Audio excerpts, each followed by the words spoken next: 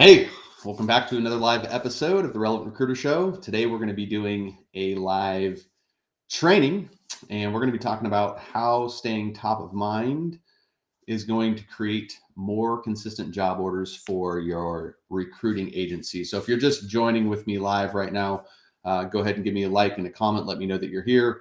Um, and uh, if you're enjoying anything that I drop throughout this, I would appreciate a little bit of love. The more likes and comments, the more spread that this video gets.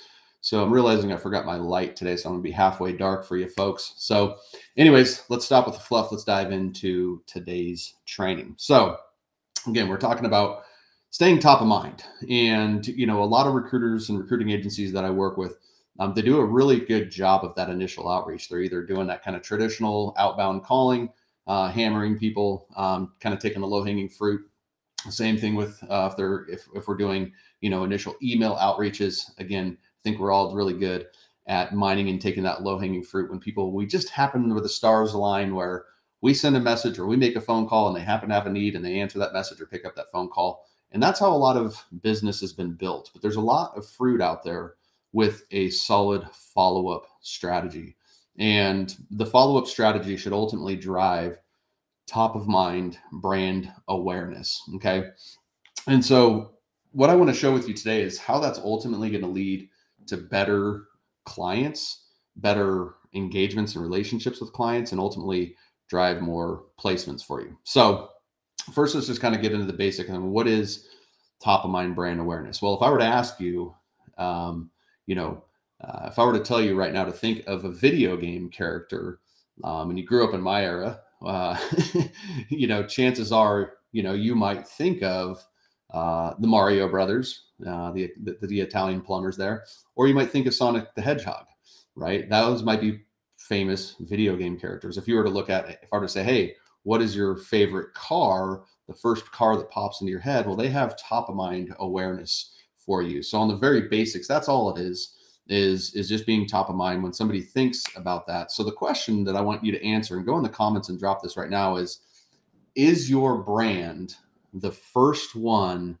that people think of in your niche. And if you're being honest, you know, some of you might be able to say that yes very confidently. Some of you might be able to realize that hey, there's a lot of opportunity um, for you to do this more powerfully. Okay, and so that's that's the first thing with brand awareness is just understanding that I want to be the very first choice. Now, why is is brand awareness and staying top of mind important, especially in the recruiting industry? Again, um, you know, with the initial outreach and, and taking the low hanging fruit, obviously we're going to get plenty of opportunity, but there's a lot more and again, better opportunity. So why? Well, the first thing is, is because you want to be that first choice, especially in this space, right? Doesn't matter if you are trying to get retainers or if you are doing contingent, but you like some sort of exclusivity. If I'm the first thought, then I, that's what gives me that chance, right? Is I'm going to get more retainers, I'm going to get more exclusive opportunities because I'm the first thing that they think of. If I'm not the first thing that they think of, guess what? By the time they get to you and you're doing contingent recruiting, there might be four or five other recruiters that have already picked over the market, making your responses from candidates even that much harder. So that's why it's critically important to not just be a thought, but be the first thought and the only thought. And that comes from having a great top of mind awareness strategy, which we'll unlock for you today. Okay. The next thing is you're going to establish way more trust and credibility. Why? Because you're showing up more to the marketplace. And the more that they see you, the more that they're going to perceive the value and, trust in what you bring to the table. Okay. So that is, that's the next thing is that you're going to have way more trust. And ultimately, one of the things that a lot of folks, I think, um, miss out on is, is you're going to get more repeat customers from your existing clients. Okay. Or more, more repeat business, excuse me, from your existing clients. And this actually came up on our coaching call the other day. Um, a lady said, hey, I got a great reputation. You know, why aren't these people calling me back? Well, just because you didn't, you did a great job doesn't mean that they're naturally going to think of you first. So the easiest place to start, this most low-hanging fruit that you can tap into is just to start getting top of mind to your existing customer base and stop assuming that just because you did a great job for them the first time, they're naturally going to come back to you the next time, right? How many times in your life have you had a quality experience and yet you went and you know went to you know for example um, you know you have a, you have a really quality experience uh, you know maybe shopping for a pair of skis but the next time you know it comes around for you to shop for a pair of skis you just go to the place that's most convenient even though yeah you you know about that but they didn't do a good job nurturing well you know we're leaving those things on the table oftentimes. So that's really why we want to do this. We want to be the first choice we want to be most trusted we want to drive more repeat business from our cl- our existing clients and you know not assume that that we're going to be their their first and obvious choice even though we did a killer job for them okay so here's what we want to do to really, you know, drive more consistent job orders from our from our, our top of mind strategy here. So the first thing is actually having a plan. Um, what I see from a lot of uh, of companies out there, um, and it's not their fault. It's just they react. So it's like, oh well, business is good. I'm going to stay doing what I'm doing. Business is good. I'm going to stay doing what I'm doing. Business is good and then all of a sudden oh the pipeline starts to dry out. Oh shoot i need to react. And now i just start reacting and following up and nothing's in, in congruence with the rest of my strategies. Um, a, a, lot of people have forgotten about me because i haven't done a good job of staying top of mind. I have you know so i really lose a lot as soon as i get out of not having a plan. So that plan you know you want to get clarity on well what is our messaging going to be for our follow-up strategy what are the channels that we're going to use to follow up um, what are the tools that we're going to use you know what lists do i have that's the basic foundation of anything is is making sure the last thing you want to do is be trying to build this plan when you're trying to play right the last time to try to build messaging create messaging scripts create content is is when you're in that moment of having to actually do your follow up. You want all this stuff done and complete and, and ready to rock and roll. Okay. So you want to make sure that you have an actual follow-up strategy and plan that's clear clear for you okay? And so what that would look like is is having a plan that's really focused on each individual prospect's level of awareness okay? And um, with all the automation in the world and a lot of you guys know that i'm a big believer in automation but for being honest it's just getting sloppy now.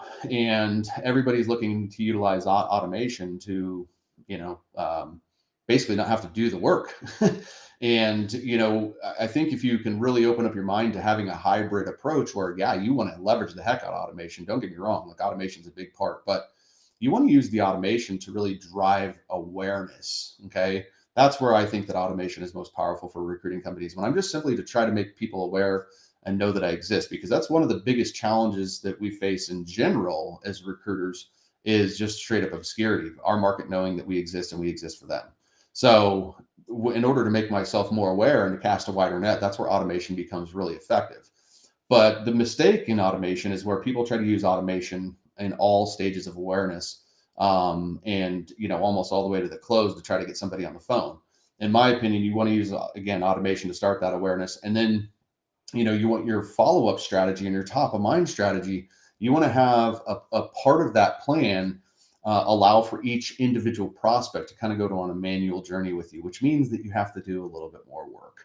Okay, but there's tools out there, cough, cough, the uh, relevant recruiter app that can help you um, do this very, very efficiently.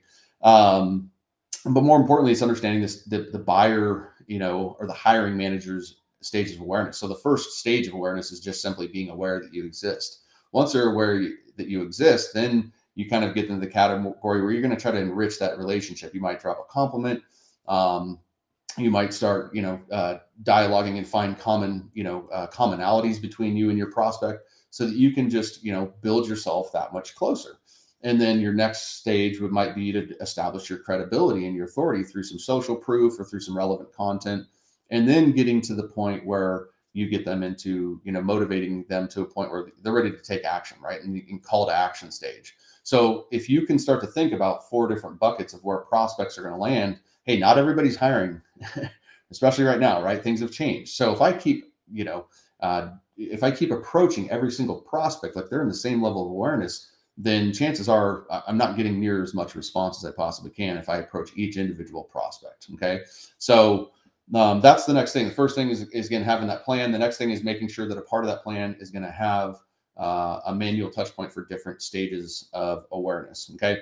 So the next thing that comes into play is having a great CRM um, that allows you to, um, you know, move people through these stages uh, efficiently. Okay. And again, this is where, in my opinion, you want to have, and this is kind of more sales, not not as much marketing. um, I, I want to have a manual follow up and, and I want to find each prospect and where they're at in these different stages of, of awareness. Okay. But follow up now, um, you know, if all I'm doing is, is cold calling, I'm leaving a lot on the table. If all I'm doing is emailing, I'm leaving a lot on the table. If all I'm doing is LinkedIn messaging, I'm leaving a lot on the table. Really, what's most powerful and most effective to stay top of mind is to have a multi-channel approach. Okay. I would even say an omni-channel approach where your market starts to see you everywhere. But from a direct outreach standpoint, you've got calls, you've got text messages, you've got emails, you've got social media touch points. There's a lot of ways that you can stay top of mind. And I would encourage you to have a top of mind approach. So, for example, if you called somebody today, then you might have a note in your CRM, then to send them a text message tomorrow. And by doing that, um, I'm going to drive awareness for this prospect. I'm going to hit them on a channel that maybe they're more receptive to. Uh, for example, we might be in LinkedIn every single day, and our prospects might link, log into LinkedIn once a week. Okay, so I might start that conversation on LinkedIn. I might not hear any response. So now I'm going to go and I'm going to go, all right, well, everybody answers their email. Let me go try them on email. And the whole goal here is to, in your head, realize that like you don't, there's not necessarily a perfect set of sequences out there. There's a lot of different ways you can do it. Um, it, but it's it's always for yourself you know, eliminating all those barriers and boundaries that you put in your head or limiting beliefs where it's like, oh, well, I don't have their phone number, so I can't do this.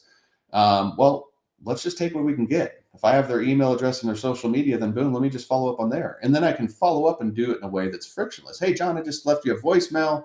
Um, I'm sending you this text message just to make you aware of that. No need to respond here. Just go ahead and, you know, check out that voicemail that I sent over to you. Right. Um, and having that multi-channel you know, follow up allows us to kind of just point people back into our original message and, and pique and poke that interest. Okay.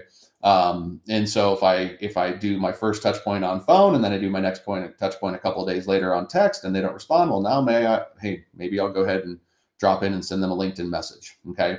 Um, now I'd encourage you to just be playful with this and develop your own you know um, system if you can, right? And, and test certain things. Now if to pause a little bit, I'm talking a lot of this about more on the client development side, but obviously a lot of these approaches are going to support um, anything you're doing from candidate development, right? I'm going to call you, I'm going to text you, I'm going to email you, I'm going to, I'm going to, I'm going to social media you.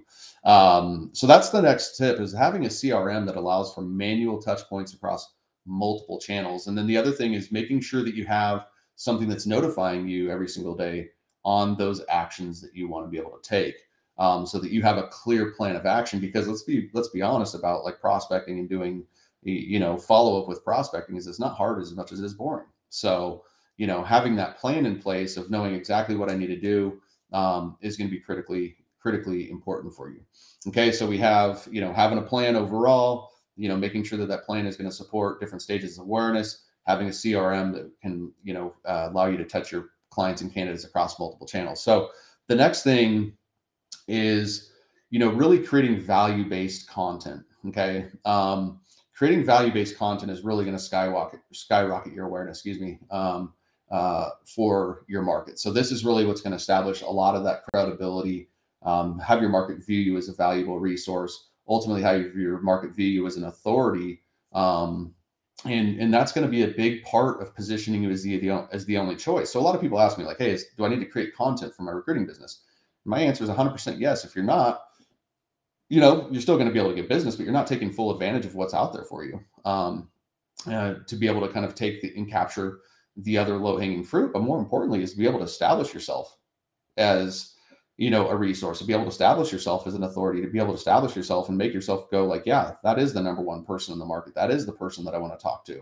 And so that is the power of, of content. But this is, again, if you watch some of my other trainings, this is where content really kind of I think confuses a lot of people. A lot of people start to think when they have to go market, they need to go sell their business, they need to go promote their business. When in reality, you know, good content is actually going to solve problems for your market. It's going to actually, you know, marketing um, in, content should really 90% of that should be about your market, about their pains, about their problems, about the hell that they're living in, about showing them what what heaven looks like, right? And and you know, creating stories and analogies that they can attach to and talk to talk about and, and really remember you by that's the whole power of, of creating content the other thing comes into you know when you look at sorry dogs going ape out there um, when you start to look at uh, um, uh, the different types of content, you know, when you start promoting your business, what happens is when I have these promotional, you know, things of like, hey, three things why you need, or three reasons why you want to, you know, uh, work with XYZ company.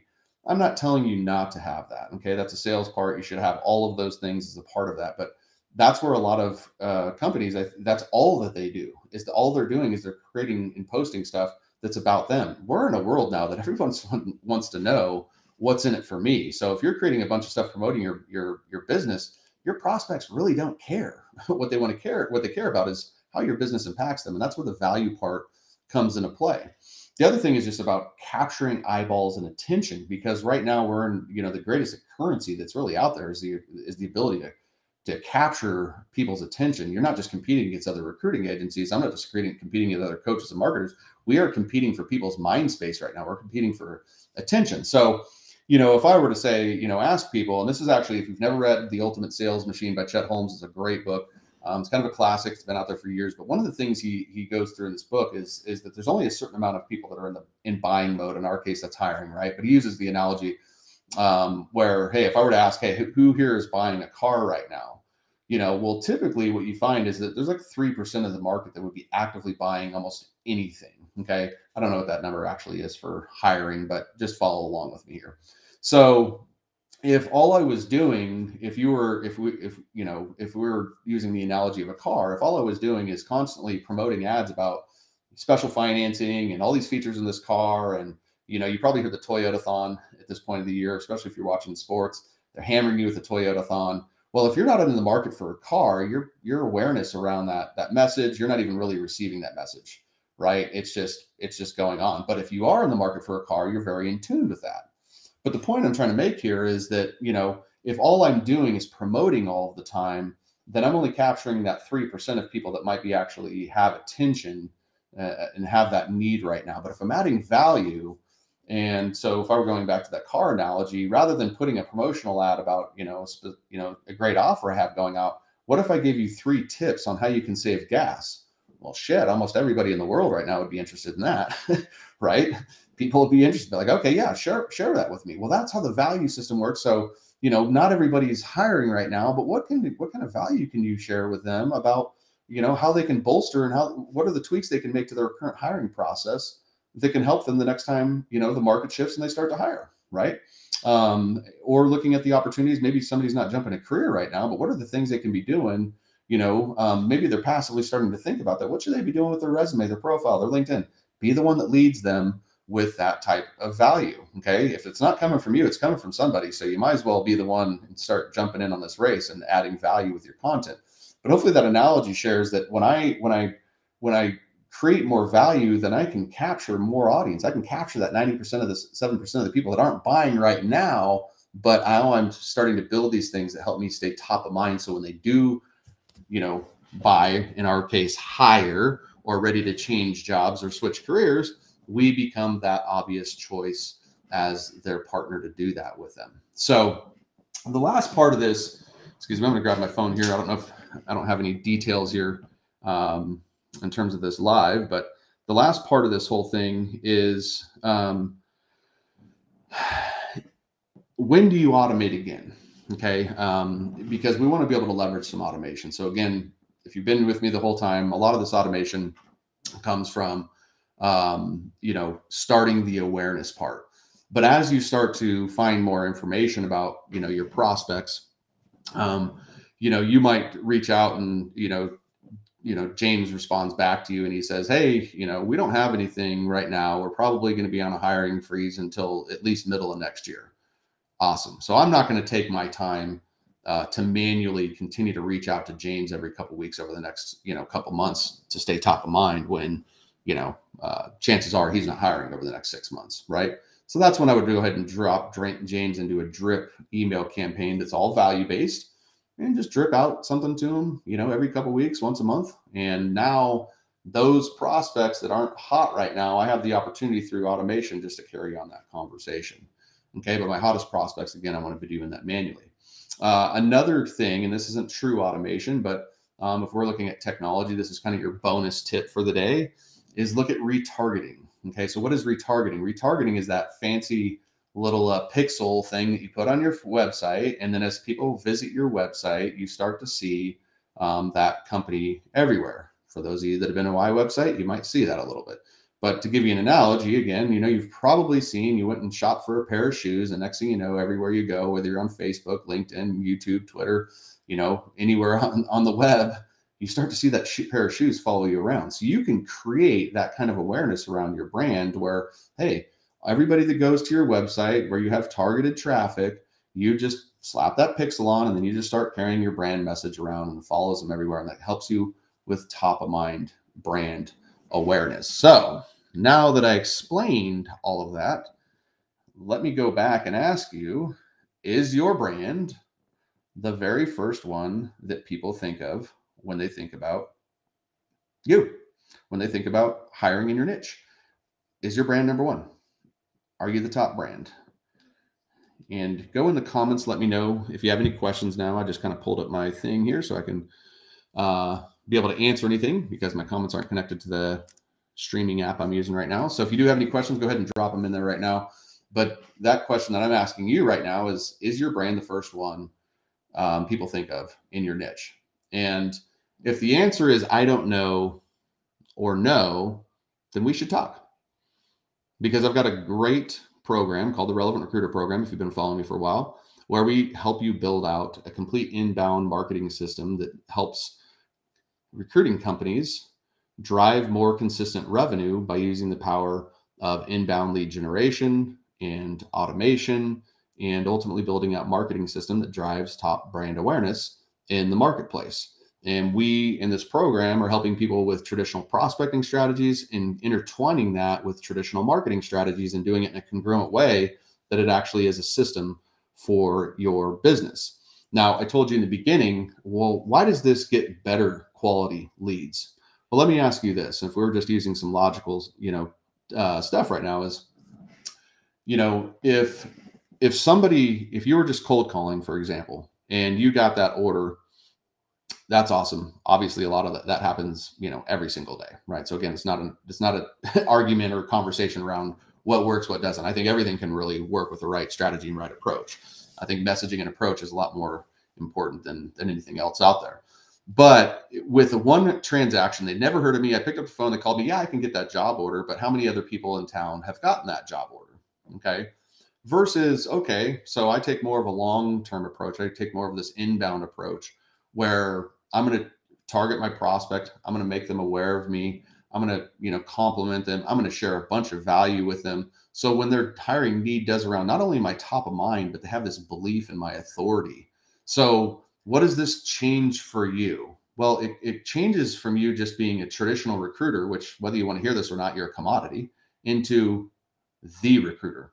We call you the relevant recruiter because they're, you're the only choice in that marketplace. Go ahead and ask Tom Caravella what's that like because he knows what it's like to be the top of mind choice in his marketplace. You can ask Matt, ask Matt Barkus, you can ask Alex Biondo, you can ask Katie Kelly, Ben Bonnell. These are people that have implemented this type of system that are seeing the impacts of being able to, you know, have a system where you can stay top of mind and do this consistently, where it's not all built off of manual effort, but you need to be able to do that manual effort because that's just a part of this. Again, with automation, it's all about using the automation to start your conversations and create awareness and allowing your magic, your human touch, being able to drive the revenue and drive the sales and drive the placements of your organization. So if you're interested in just exploring this, if you're ready to take 2023 and build it to the next level, then let's start now. Let's start building that plan right now. And then by Q1, we're already executing and putting you ahead of the curve. So it doesn't matter if you know your business has had an explosive year this year and you've slowed down a little bit because you haven't stayed on top of your business development and your marketing efforts because you've been too busy focusing on filling placements or maybe you're fully dialed in but you're just looking for that next bullet to take your business to the next level. Let's talk. Go ahead drop a comment there. Send me a direct message here on linkedin. We'll do a free call. I'll walk you through uh, uh, first, my, my first goal is to get clarity on, on you and your business and if this strategy can help you out. And then we walk you through exactly how the strategy would apply to your business specifically. Now, keep in mind what we just walked walked through today is more about the follow up, and there's a lot of other components that we teach from how to build a brand, how to build the brand image, how to automate, how to dominate your LinkedIn, how to create content, and how to show up on multiple channels with that content with a great follow-up marketing and prospecting system. So this is Donnie Gupton. Hope you found some value in this video. If you did, go ahead and tap those likes, give me some comments. I appreciate you guys uh, being here today. Again, send me a direct message if you're ready to take action. If you're ready to dominate and win big, give me a call. It's what we do. Talk to you soon.